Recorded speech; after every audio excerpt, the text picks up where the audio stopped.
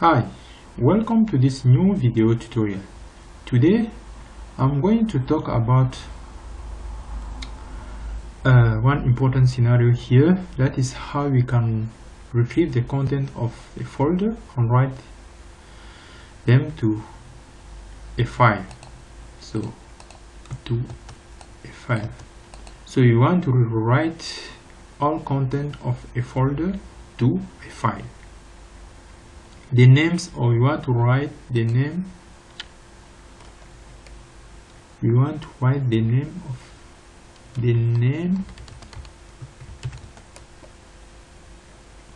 The name of all contents of a folder to a file. Yeah that's okay. So what am i talking about?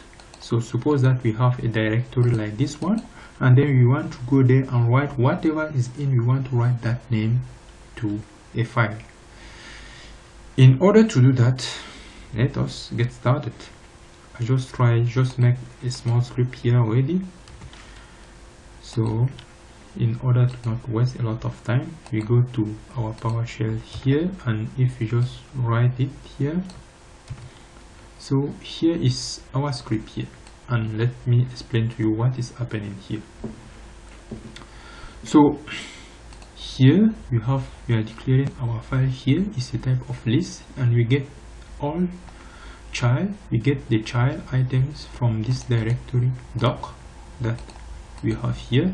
So we are going to this doc and recursively check till the container of mean the content of this one is equal to false. I mean each time that you will iterate you will run you will if it find a file here will be true then you will get the content name and then then after that one we are going to display the total number of file by getting this file and count.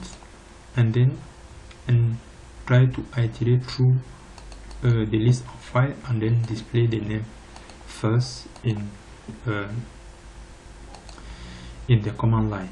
And in order to do that let us save our script here. So instead of here we save it under docs in a different folder. So let us save it as nemo. So here is our script nemo that's saved and then let us browse to docs here.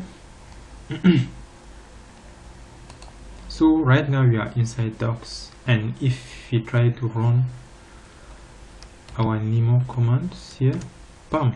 So you can see here that we have two files and these are the names of the files. And if we go and check here we have exactly docs.ps1 and hello.ps2 now if you want to write this content to a file here instead of displaying here what we are going to do is we are going to forward use pipe pipeline concepts in PowerShell and just write bar and then we try to if you write this bar here it means that instead we are taking whatever is coming from here we are piping that one and send it output file here and then we are appending that one to this file here called my text.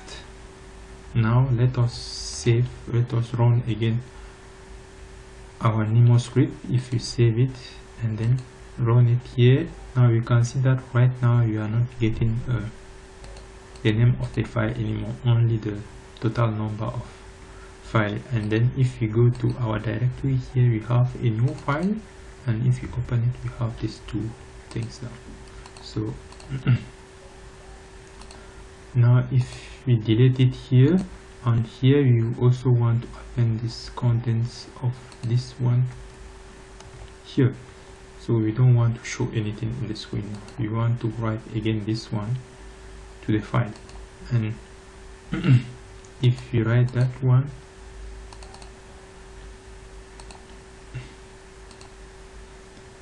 sorry here